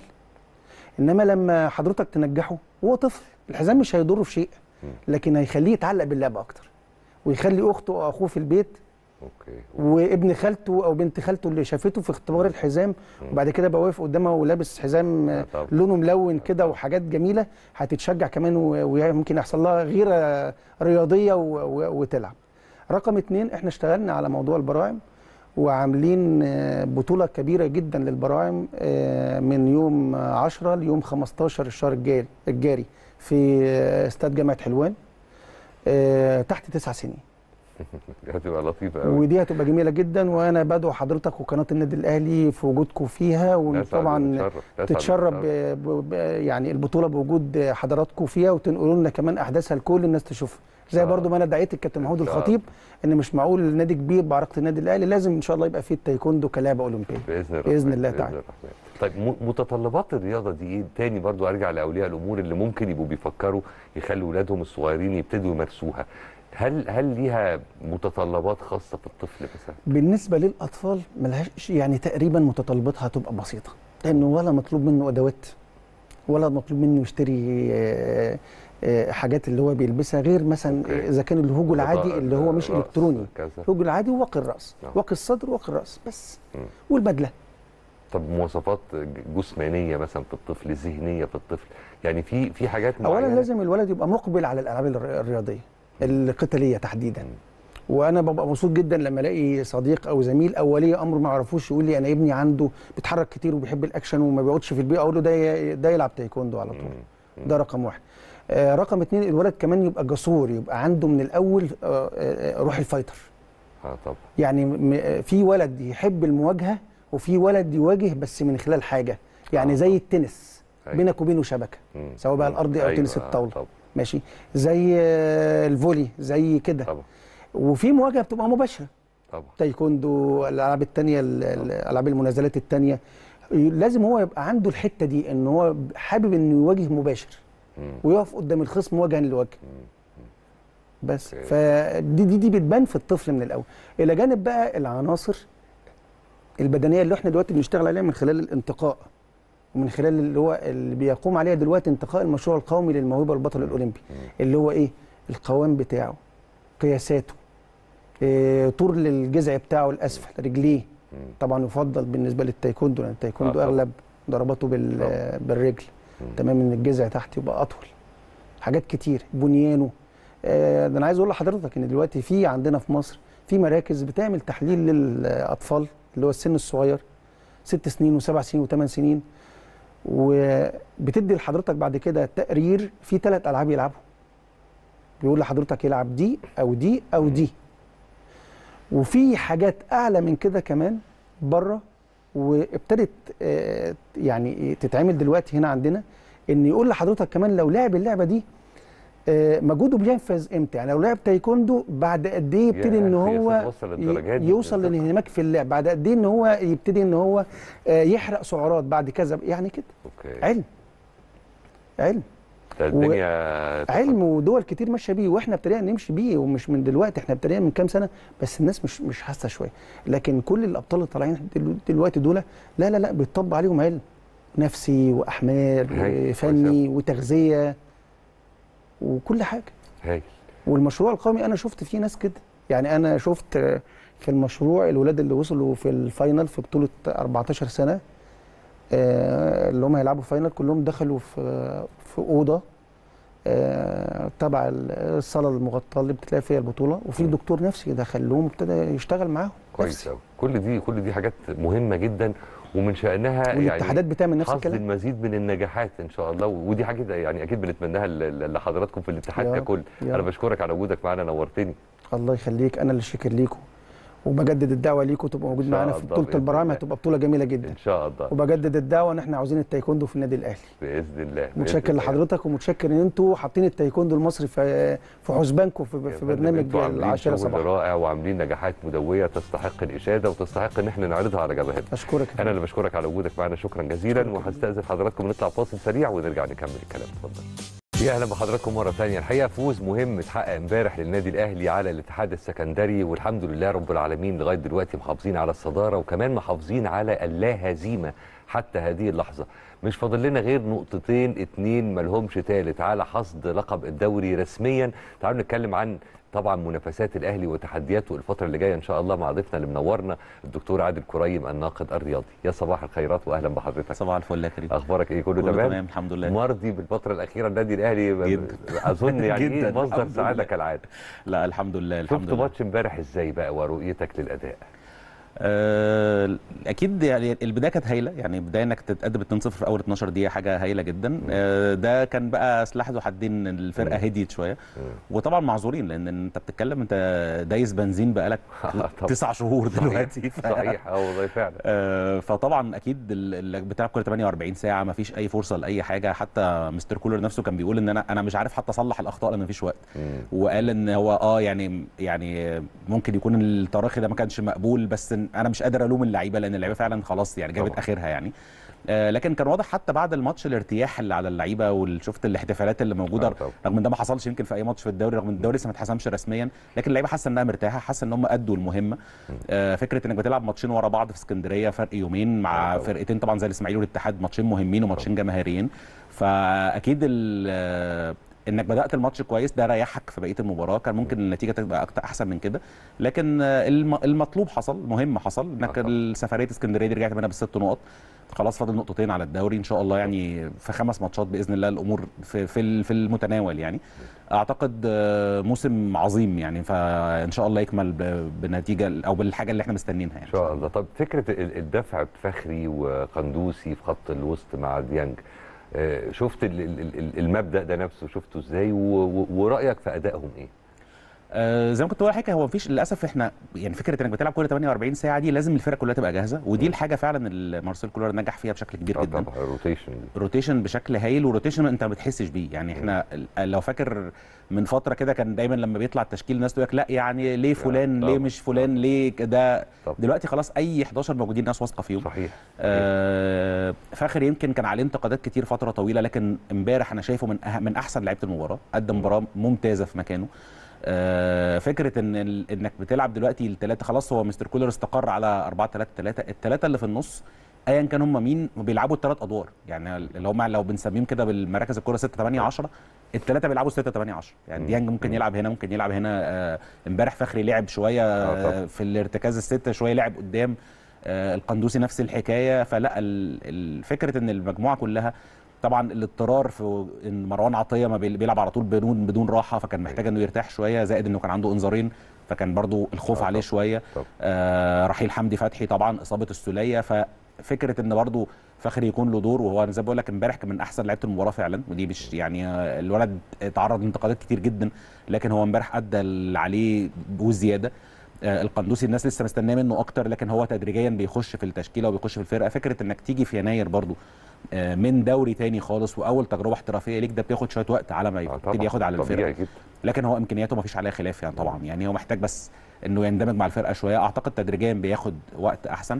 آه، أعتقد لا الاثنين كانوا كويسين جدا إمبارح. حتى يعني الناس بدل لما كانت بتقول فخري بيلعب ليه لما جاي يخرج لما جاي التغيير لا طب أنت أيوة. مخرج فخري ليه؟ فلا صحيح. آه، يعني وده أعتقد دي أكبر شهادة إن هو امبارح قدم مباراة كويسة جدا برضه من الحاجات اللي, اللي, اللي, اللي كتير من الناس واخدين بالهم منها آه، إلى جانب جودة الروتيشن اللي بيعمله آه، كولر فكرة إن في والكلام ده الحقيقة لحد بعيد ينطبق على كل اللعيبة لكن لو وقفنا عند لعيبة معينة هتلاقي إن في تألق ملحوظ طرأ عليهم أو أو زاد معاهم بعد ما جه مستر كولر حد زي بيرسي تاو حد زي حسين الشحات حد زي أليو ديانج بالمناسبة فشايف سر الحكاية دي إيه؟ آه هو اولا راجل fair جدا يعني راجل عادل بدرجة 100% لأن إحنا كنا شفنا مثلا في بداية الموسم في لعيبة بعيدة أيوة. لما بتلعب وبتثبت نفسها خلاص بتتثبت في المكان ده وبتكمل بشكل كويس جدا بناخد بالنا في مباريات إن بيحصل تغيير مثلا لعيب بينزل بيختم المباراة بشكل كويس جدا فبيبدأ المباراة اللي بعدها مم. ده بيدي يعني رسالة للعيبة كلها إن أنا مش فارق معايا أسامي وبيصبر على اللعيب اللي عنده تحفظات عليه يعني بالظبط آه. بالظبط هو زي ما بقول لك هو هو بيقول للعيبة أنا ما عنديش أسامي أنا عندي أداء في الملعب اعمل اللي عليك انت موجود مم. آه زي ما حضرتك قلت بيرسي تاو الناس كان عندها تخوف كبير جدا بعد رحيل مستر موسيماني إن هو هو اللي جابه وهو. أبوه الروحي وهو اللي. اكتشفه في سان داونز. فإن اللعيب هيبقى صعب بقى نفسيا وإنه يخش فرقة بيرسي تاو أدى موسم عظيم من نجوم الموسم مع الأهلي آه، حسين الشحات من نجوم الموسم الكبار جدا وأدى أداء وحسين كمان مع تغيير مكانه من مم. اليمين للشمال أيوة. ما فيش أي مشكلة خالص اللعيب بيأدي بشكل كويس جدا اكتشف في نفسه حاجات جديدة في الحتة طبعا. دي محمد هاني مأدي موسم رائع وأكتر من رائع رغم إنه بداية الموسم كان أكرم هو الأساسي وهاني كان احتياطي لكن مجرد إصابة أكرم هاني مثبت نفسه بشكل محترم جدا. اللعيبة الرجالة قوي جدا جدا عامل موسم رائع جدا طبعا. وتغير كمان في شخصية يعني يعني هيبقى واحد من كباتن الفرقة فعليا. آه طبعا. يعني ال- الشخص وشفنا للتفصيلة دي كذا انعكاس في آخر كام ماتش للنادي الأهلي. بالظبط لا. منها منها تفصيلة الثبات الانفعالي بتاعه وحاجات زي كده وقدرة على التحكم في ال- في, ال- في الذات. بز... ما فكرة إنك تبقى كابتن فرقة. الأهلي في الملعب مع الأسامي دي مش حاجة قليلة. طبعا، فأنت لازم. تبقى عندك ال- القوة الشخصية دي. طبعا. آه ده بقى يندرج على كل يعني لو خدت الفرقة واحد واحد هتلاقي كلها كده. يعني ما- متولي في وجوده ورغ- يعني مع الإصابة دلوقتي لكن هو في أثناء وجوده في ملعب قوي جدا. السوليه نفس الحكاية. وكلهم كمان أنا كل اللعيبة دي غير الأداء اللي في الملعب الشخصيات القيادية اللي هم فيها. طبعا. يعني أنت دلوقتي بقى عندك الشناوي عندك مهاني عندك علي معلول عندك عمرو. السولية عندك محمد عبد المنعم. كل دول لعيبة مع اختلاف مراكزهم اختلاف أعمارهم كلهم عندهم شخصية القيادية في الملعب. وده لما ي... لما تلاقي الفريق كله بالشكل ده ده يحسب اولا للجهاز الفني. بس ده يصعب المهمه على الكابتن بقى بتاع الفريق. مش كده برضه؟ يعني مهمته مش سهلة خلي بالك. بس طالما ال- الروح يعني أنا أعتقد إن أكتر الحاجات اللي بسطه جمهور الأهلي الفترة اللي فاتت الروح اللي موجودة. لا وبعدين. للأمانة ما فيش لعيب بي- بي- بيتعمل معاه لقاء أو بيدلي بتصريح غير لما بتلاقي دايما في شوية ثوابت كده في إنكار للذات وفي إيثار للفرقة بشكل بشكل عام. فدي برضو من الحاجات الحلوة وال- والراقية قوي في لعيبة النادي ما الاهلي هو ده ده اللي فعلا زي ما بقول لك ال- الروح اللي موجودة هي دي من أحد أسرار النجاح وأحد أسرار الموسم اللي أنا شخصيا بعتبره موسم تاريخي للأهلي. فكرة إن أنت إن شاء الله يعني على بعد نقطتين خلاص الأمور شبه محسومة إنك تحسب لقب الدوري فتبقى حسمت خمس ألقاب في موسم واحد. دي حاجة آه كبيرة. جدا محترمة جدا. كانت بتحصل لما كان بتحصل مع الجيل الذهبي اللي بنقول عليه الجيل الذهبي في 2005 و2006 كنا من بنقول ده جيل تاريخي وذهبي فالجيل ده لا يقل بأي حال من الأحوال عن اللي حاصل ده. عنده لسه تحديات تانية والناس واثقة فيه جدا. ال- الشكل ال ال الحلو حتى زي ما بقول لك في الملعب وبره الملعب زي ما حضرتك كنت لسه بتقول الروح اللي موجودة في الأوضة في أوضة اللبس الروح اللي موجودة في الملعب بين اللعيبة وبعضها. طبعا. آه شفنا التسجيل اللي كان عامله الكاف من المباراه النهائي اللي جوه أوضة اللبس. اللعيبة بتتكلم إزاي مع بعض وبتحفز بعض إزاي؟ طبعا. حاجة فعلا يعني أعتقد إن جمهور الأهلي بيعيش أيام سعيدة جدا مش بسبب النتائج بس لا بسبب كل ده.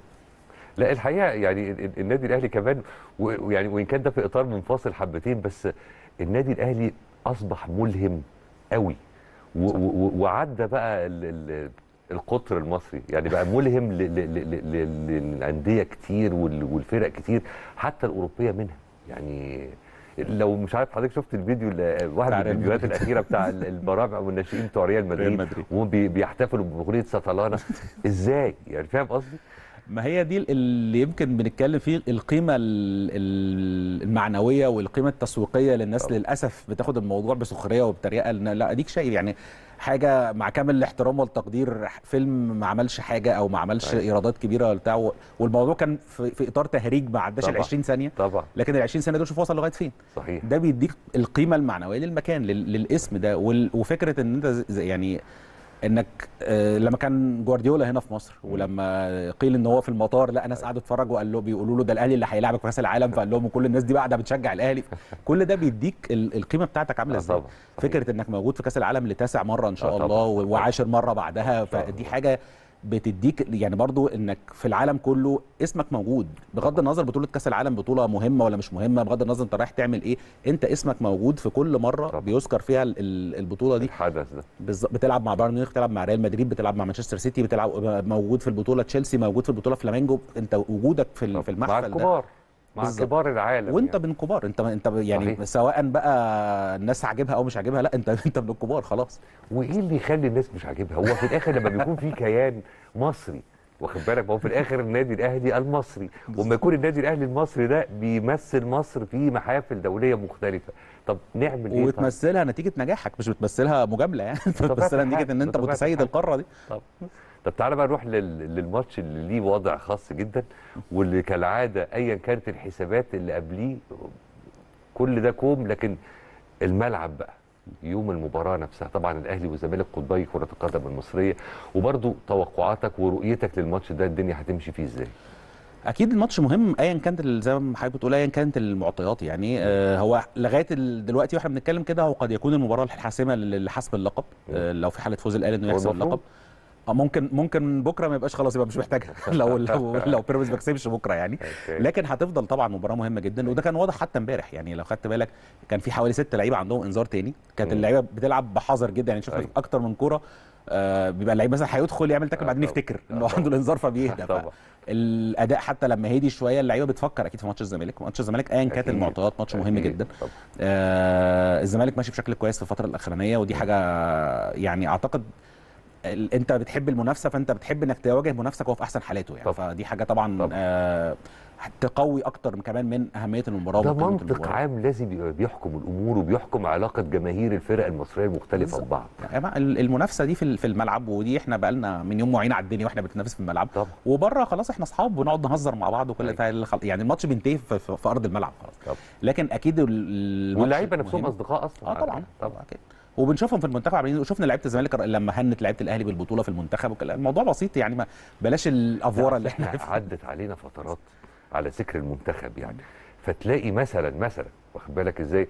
في ناس جواهم في إشادة بلاعب معين من لعيبة النادي الأهلي اللي من في القوام الرئيسي للمنتخب بس مش هاين عليهم يقولوها لمجرد إن هو لاعب في الأهلي واحيانا العكس صحيح. إزاي؟ لا ده ده يعني لما يكون مثلا يعني سي لاعب من الزمالك مثلا في المنتخب وعامل شغل هايل لا نملك غير إن إحنا نرفع له حقه القبعه ما طبعاً. هو في الآخر. ده منتخب بلدنا. بالظبط.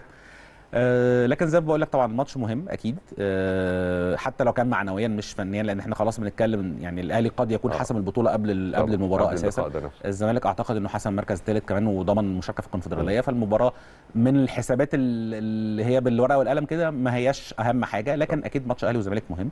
يدي حتى كمان دفعة معنوية في نهاية الموسم للفرقتين قبل. بداية الموسم الجديد طبعا آه، لأن إحنا بنتكلم خلاص يمكن أعتقد الأهلي لو حسب الدوري ممكن اللعيبة تاخد راحة لغاية نهاية الموسم لأن مفيش وقت لأن هتخش بعديها على طول على السوبر الأفريقي في دوري الأبطال طبعا. اللي جاي وبرده الموسم الجاي إن شاء الله طبعا. كالعادة زي ما اتعودنا انه موسم استثنائي كالعاده مستمر يعني ما بيخلصش فاعتقد الفرقتين داخلين مباراه بمعنويات عالية جدا آه، ومفيش ضغوط قوي من ناحية النقط والكلام ده فده ممكن يدينا إحنا بقى استمتاع أكتر بالماتش يعني في ضوء متابعتك للماتشات ال- الفترة الأخيرة.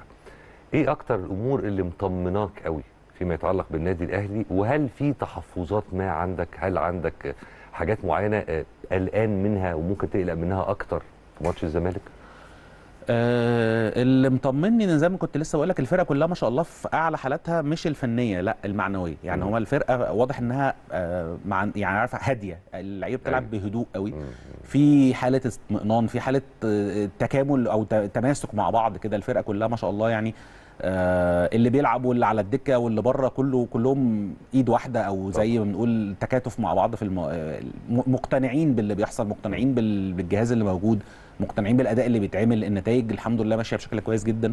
كل البطولات اللي دخلتها السنة دي آه، قدرت إنك تحققها. يمكن ما عدا يمكن كأس العالم بس كأس العالم أنت هدفك فيه إنك تقدم أداء كويس وعملت أداء كويس فعلا. فده مدي ال- ال- الحالة الاطمئنان وحاله السعادة اللي كنت لسه بحكي لك عليها عند الجمهور. آه، ما أعتقدش في حاجة مقلقة قوي لأن زي ما بقول لك الم... يعني ال... خلاص أنت عايز تختم الموسم. هو ممكن بس يبقى لو المباراة هي اللي هتحسم الدوري وطبعا كونك تحسم لقب الدوري قدام الزمالك في في الملعب في مباراة قمة ده حاجة حاجة مهمة جدا. ممكن ده يدي بس شوية ضغط عصبي. مش مش مطلوبة. يعني وأتمنى انه ما يكونش مطلوب لأن اللعيبة لازم تبقى فاهمة كده إن أنت هدفك البطولة. طبعا. البطولة أنت محتاج لها نقطتين. فحتى يعني حتى لو الماتش خلص تعادل انت عايز نقطة من الأربع ماتشات اللي فاضلة بعد كده فلازم تلعب بهدوء أكتر. أكيد. لازم تمتع نفسك زي ما دايما مستر كولر بيقول انزلوا متعوا نفسكم. لازم تفكر في الأمور بمنتهى الهدوء. وزي يعني أتمنى إن أنت تحسم طبعا اللقب عشان خاطر عشان حتى كمان اللعيبة تلحق تريح شوية. شوية. متعوا نفسكم دي أو جملة انزلوا عشان تستمتعوا باللعب في الماتش بتتقال من مدربين كبار لفرق كبيرة. يعني برضو عايزين تفسيرها الحكاية دي. يعني فكرة إن أنت تنزل وتلعب بأريحية وباستمتاع وإن ده بالضرورة هينعكس بالإيجاب وهيحقق لك الفوز. انت بترفع الضغط عن اللعيبة فكرة ان انت بتبقى نازل دايما مضغوط وان انت لو عم يعني لو انت عندك حالة ضغط نفسي دي وغلطت اي حد بيغلط هتلاقي الأمور وصلت معاك ممكن توصل معاك للانهيار في لعيبة لما بتغلط غلطة آه. خلاص بتخرج من آه، الجيم طبعا. تماما إنما لو أنت نازل بهدوء أعصاب والموضوع بالنسبة لك في مش تراخي طبعا يعني. آه، بس. أنت ثقة يعني. مرتاح بالظبط آه. واثق في نفسك مرتاح. حتى لو أخطأت لأ هعوض الخطأ ده ما عنديش مشكلة. وده اللي بتشوفه مثلا في واحد زي علي معلول. علي معلول دايما لما بيغلط بتلاقيه بيعوضها بعدها بثواني. لأن هو لعيب عنده ال ال ال الهدوء عنده النفسي روح. عجيبة. بالظبط. فده لأ طبعا ال- المدرب لما بيقول للعيبة كده هو بيشيل عليهم الضغط. بيصدر لهم إن أنتوا لأ أنتوا آه، خلاص أنتوا عملتوا اللي عليكم أو أنتوا إحنا واثقين فيكم واثقين في ان تقدروا تعملوا تعملوه فالعبوا بقى بالراحة متعوا نفسكم الكرة أساسا لعب لعبة للمتعة طبعا، أساسا طبعا. الفكرة إن الجمهور يستمتع باللي أنت طبعا. بتعمله فأنا بوصل لك الشعور ده وعلى ذكر علي معلول الحقيقة علي معلول قصة حب لا ده يعني تانية. وعشق من جماهير النادي الأهلي لعلي معلول ومن علي معلول للنادي الأهلي بالظبط. بجماهيره بالظبط. الحقيقة يعني حاله حالة استثنائية علي معلول والروح اللي بيلعب بيها أنا دايما حتى بقول إنه لا يقل مصرية عن أي واحد فينا بالظبط هو يمكن ال... ال... دايما الناس اتعودت على اللعيب المحترف ده محترف أنا. جاي آه، والاقي. آه، للمادة اللي أنا أو بعملها كأنه أو جاي عقد عمل يعني عقد بالظبط. أنا جاي ثلاث. سنين مثلا أعمل شكل وأطلع ألعب بقى في أوروبا طبعاً. أنا جاي عشان آخد قرشين ولو حد اداني أكتر هروح له معلول ده كأنه متربي في آه النادي بالظبط مولود يعني في النادي يعني أنا عمري ما هنسى كان من حوالي ثلاث سنين تقريبا بيعمل حوار في في التلفزيون التونسي وحد بيقول له يعني انت من احسن اللعيبه في تاريخ تونس في المركز ده وكنا وزمايلك بيلعبوا في أوروبا فقال له أنا بلعب في نادي ما يقلش عن أوروبا.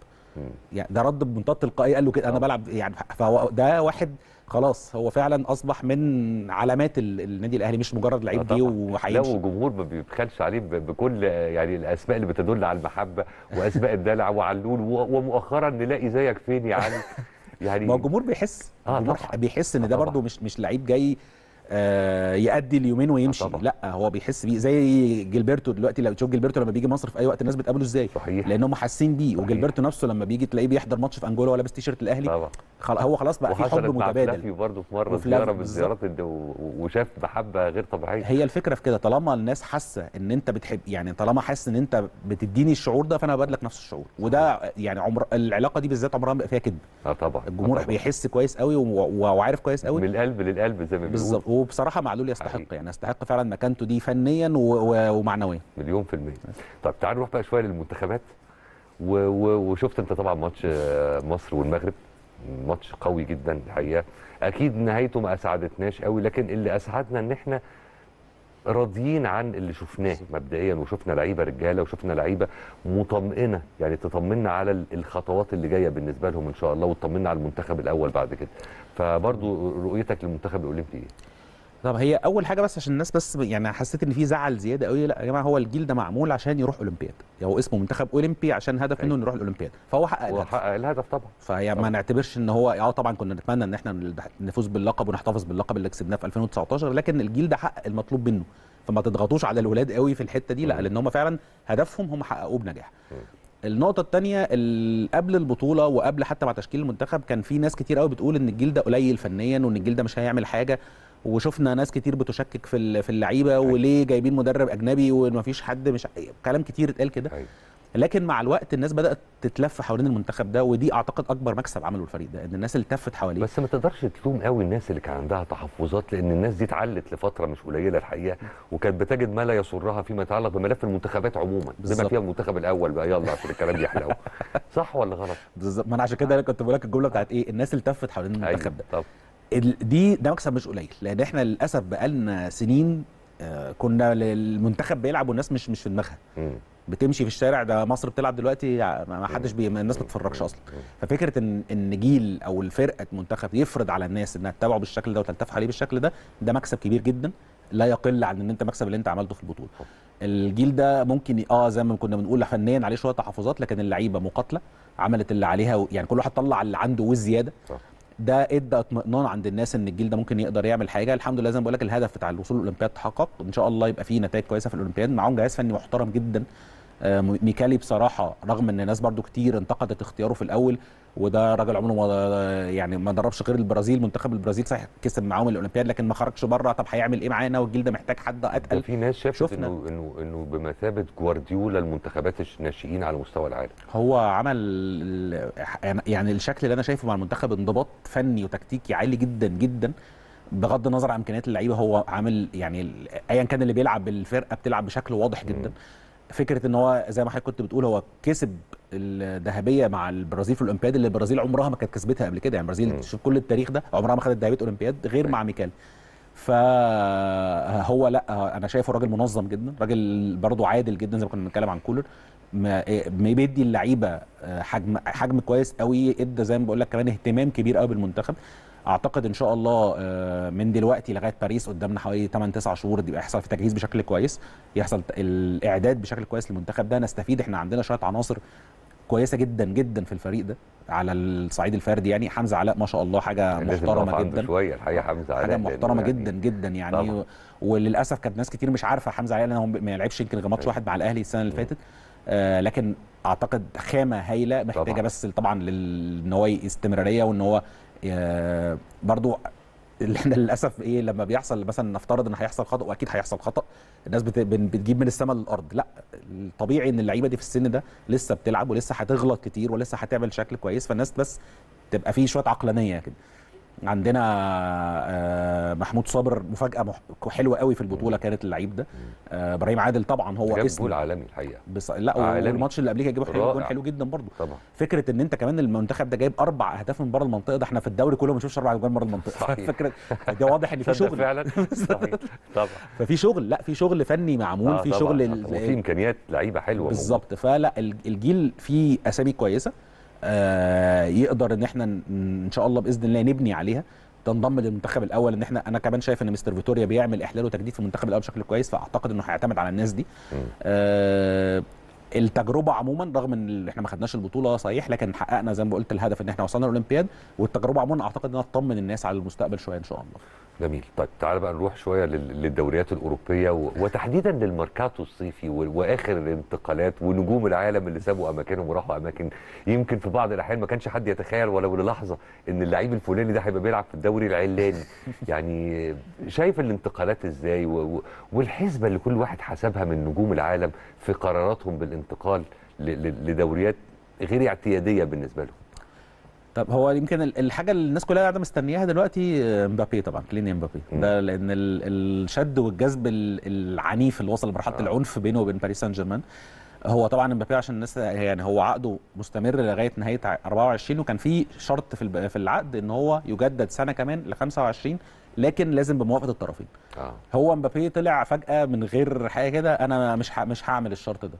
طب انت كان ممكن تستنى وتقول هو, عادي. هو إيه حكاية لعنة PSG هي فكرة إن مشروع PSG نفسه ما كانش واضح. يعني أنت عمال تجيب في أسامي آه. رحت وبأرقام آه،. خرافية. طبعا. يعني رحت جبت نيمار ب 222 مليون كسرت الشرط الجزائي بتاعه. ورحت جبت مبابي وهو 17 سنة ب 180 مليون من موناكو.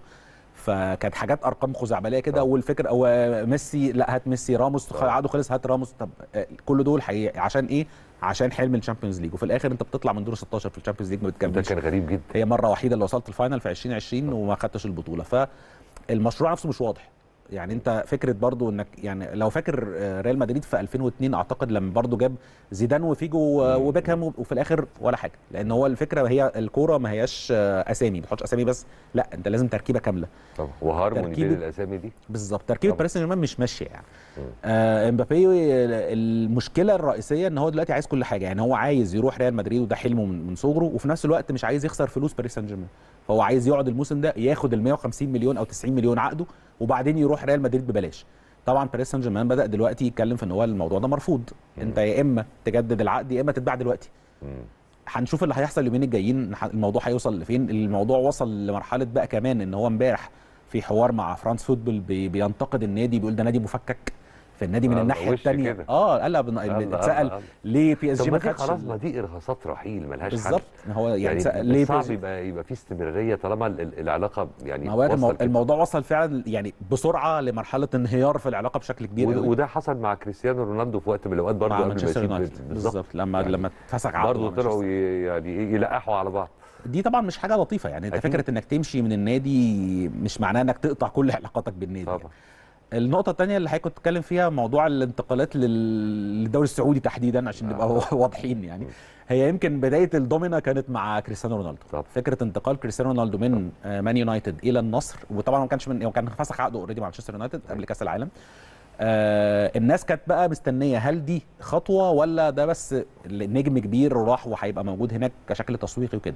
لكن اللي بيحصل اليومين اللي فاتوا واضح إن زي ما بقول لك ده كانت دومينا هو أول آه، خب... حجر اتخبط. ده كان هو أول الغيث. بالظبط. وبعدين آه. شايفين بقى دلوقتي كريم بنزيما أنجولو كانتي إدوارد مندي فيرمينو.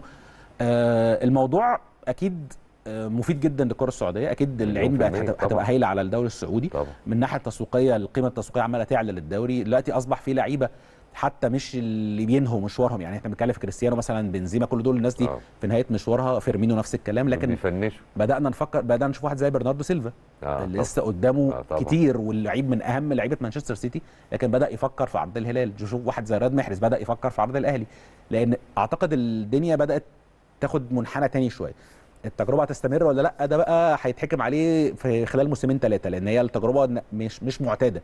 إحنا شفناها يمكن في الصين شفناها آه في طبعاً. قطر بس ما كملتش قوي. وكانت برضو لعيبة رايحة في نهاية المشوار. إحنا دلوقتي بنتكلم في لعيبة لأ في لعيبة في نهاية المشوار وفي لعيبة لسه في قمة المجد يعني. هو أنت الأولى يعني هفترض إن أنت راجل صانع قرار في الحتة دي تمام؟ الأولى إن أنت تصرف هذا كم من ملايين ولو جمعتهم هيبقوا مليارات اليوروهات عشان تجلب آه، أهم وأتقل وأعظم وأشهر أسماء لعيبة كرة القدم في العالم في الدوري بتاعك ولا بربع القيمة دي تفوق اللعيبة بتاعتك وتصنع إنجاز التعبير نجوم مستقبليين محليين؟ أه، بص هي مش مش أولى هو الاثنين مطلوبين لكن أه، أكيد الاستثمار الأكبر لازم يكون في إنك تبني قواعد. طبعا. يعني يبقى عندك قاعدة. للدوري ده تبني عليه بعد كده قاعدة تسويقية قاعدة ملاعب قاعدة أه، أجهزة فنية بتاخد محاضرات على أعلى مستوى قاعدة أه، نظام كامل تسويقي وكروي وفني وكل الكلام ده. لكن هو الحقيقة ده بيحصل. يعني هو فعلا أعتقد الاتحاد السعودي بيعمل ده آه. وحتى على مستوى الكره النسائية. هم جاب ناس محترمة جدا بتعمل الكلام ده. لكن أكيد العين كلها بتروح للنجوم. يعني هو طبيعة يعني الحال. بالظبط. يعني هو أكيد إن أنا لما ه... لو أنا بعمل حتى كل ده من غير ما يبقى عندي كريستيانو رونالدو وبنزيما وكده الناس مش يعني يعني هيحس باللي أنت بتعمله ده بالظبط. فهو أيوة. زي برضو كنت لسه بقول لك التجربه هيتحكم عليها بقى الأيام الجاية هل ده هيبان توازيا مع ده وده لو فعلا حصل يبقى أنت بتعمل طفرة عظيمة جدا وهيبان آه، أثرها في الفترة الجاية بشكل كبير جدا خلي بالك كمان على مستوى التنظيم ال- السعودية هتنظم كأس آسيا لاول. مرة في تاريخها. هتنظم كأس بت- بتسعى. دلوقتي لتنظيم كأس آسيا للسيدات كمان فانت جميل. بتتكلم حتى على المستوى التنظيمي الأمور بتختلف تماما. حلو. آه عندهم دلوقتي ملاعب ما شاء الله يعني كنا زمان بنتكلم على ملعب الملك فهد بس دلوقتي لا في ملعب الجوهرة في ملعب ال- ال- اللي هو اللي هيتلعب عليه كأس العالم للأندية في جدة في كمان اهتموا بالبنية التحتية بالظبط. فهي الحقيقة هي ماشية توازي. وكده. هي ماشية بالتوازي. بس أنا كنت لسه بقول لك بقى هنوصل لحد فين يعني؟ هنكمل لحد فين؟ أنا شخصيا أتمنى إنها تكمل بشكل نا- ناجح يعني. أكيد آه طبعا. يعني أكيد كلنا نحب الخير لل- لل- للمملكة العربية السعودية بطبيعة الحال. لو كنت أنت مكان ميسي كنت هترفض هذا العرض الساخي جدا قوي خالص اللي اتعرض عليه وتروح على انتر ميامي في في أمريكا و... ولا كنت هتعمل حاجة تانية ولا إيه؟ بص هي ميسي يمكن الموضوع اختلف إن هو جات له وهو خلاص مش عايز حاجة. يعني بعد ما خد. كأس العالم بقى خلاص أنا أنا مش عايز حاجة. أنا هلعب لي سنتين ثلاثة كده فور فن يعني. فهو فكر في بتفكير بره الكورة شوية. هو فكر بتفكير إن هو أنا عيلتي هترتاح فين؟ مم. أنا مش عايز نمط. الحياة نفسه. بالظبط أنا مش عايز ضغوط فين لأن خلي بالك الناس كانت بتقول لك مفيش ضغوط في السعودية. لا أنت شفت نفسك كريستيانو كان إزاي بيتعصب طبعا. وكان إزاي عايز يكسب كل لا حاجة. والضغوط هتزيد بقى بعد كده كمان بعد النجوم العالم لما هي بالظبط. طبعا دي طبعاً، نقطة لأن. هو هو مش عايز يلعب هو عايز يلعب بأريحية بالظبط. الدوري خلي بالك الناس برضه عماله تقول لك إنتر ميامي ده الأخير في الدوري أيوه ما هي مش فارقة لسبب بسيط. الدوري الأمريكي دوري مقفول. يعني لا في صعود ولا هبوط. هي مجموعة أندية بتلعب بعض وخلاص. آه طبعا. فهي آه ماشي طبعا أكيد لازم يبقى في طموح عندك إنك تاخد لقب أو تاخد الكلام ده لكن هو ميسي ما بقاش عنده خلاص هو قفل ال game زي ما بنقول كده بعد كأس. العالم فهو واخد الموضوع إن أنا عايز أرتاح ودلوقتي بيجمع أصحابه. كانوا بي- بي retire بيتقاعد بس. من غير ما يتقاعد يعني يتقاعد آه يعني أنا بلعب for fun فقط لا غير وزي ما بقول لك دلوقتي بجمع أصحابي بقى جبت بوسكيتس وجبت ألبا آه. وفي كلام إن سواريز جاي إن هو إيه إحنا الشلة بتاعتنا حلوة في هنقعد في ميامي مع بعض كده وننزل نلعب ماتش كل أسبوع وخلاص ال- اللي خلى ناس كتيرة تستغرب وتندهش فعلا ال- ال- ال- العرض نفسه. العرض كان رهيب. يعني خيالي يعني. قوي. فلكن زي ما بقول لك هو هو فكر في دي إن هو أنا عايز عيلتي تبقى في مكان مرتاحين فيه آه ما بيفكروش في حاجة بقى. ومن الناحية الثانية أنا مش عايز ضغوط يعني مش عايز بقى أنا ألعب في دوري تنافسي بقى وقدامي كريستيانو والمقارنة ترجع تاني بيني وبين آه، كريستيانو إيه وبنزيما جه ومش عارف. إيه. ونخش في المقارنات وماتش بيلعبوا بعض ومين اللي هيكسب وده جاب كام جون وده جاب كام جون وده الكلام ده بقى هو قال لك لا إيه آه، طبعا أنا خلصت أنا هقعد أرتاح السنتين دول لا هو. الحقيقة خلص وعمل اللي عليه وزيادة. يعني ما سابش يعني شكل من أشكال إمتاع الجماهير في العالم كله غير لما عملها الحقيقة بالظبط وده على فكرة ده برضه أنا مش يعني ده مش معناه إن هو اللي صح وكريستيانو لا أنا بس بشرح كل واحد ليه ده حسبته فكر إزاي وده فكر إزاي. طبعا. انما في الآخر أكيد ما يعني هي مش مقارنة هما الاثنين عملوا هما الاثنين آه قفلوا طبعا. الجيم أساسا يعني هما الاثنين عملوا كل حاجة. يعني مليون في المية. أنا بشكرك شكرا جزيلا نورتني في حلقتنا النهارده. شكرا لحضرتك ربنا يخليك. ومبروك للأهلي وإن شاء الله نبارك بالدوري بقى إن الأسبوع الجاي. شاء الله بإذن الله. بعد ال- الدعوة الحلوة دي نختم مفيش كلام تاني يتقال بعد كده. بشكر كل حضراتكم على حسن المتابعة ونشوفكم على خير بكرة إن شاء الله. صباح الفل.